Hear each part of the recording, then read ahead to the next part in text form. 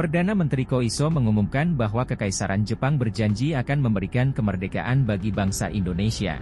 Dalam sidang istimewa, Teikoku Ginkai, 7 September 1944 di Tokyo, sejak itu tentara Jepang mulai melonggarkan pengawasannya terhadap pergerakan kemerdekaan kaum nasionalis. Berbagai organisasi pun dibentuk sebagai wadah para tokoh pergerakan, seperti Soekarno, Muhammad Hatta, Ahmad Subarjo, dan lainnya. Rupanya Jepang ingin mengambil hati bangsa Indonesia agar mau membantunya dalam Perang Dunia Kedua.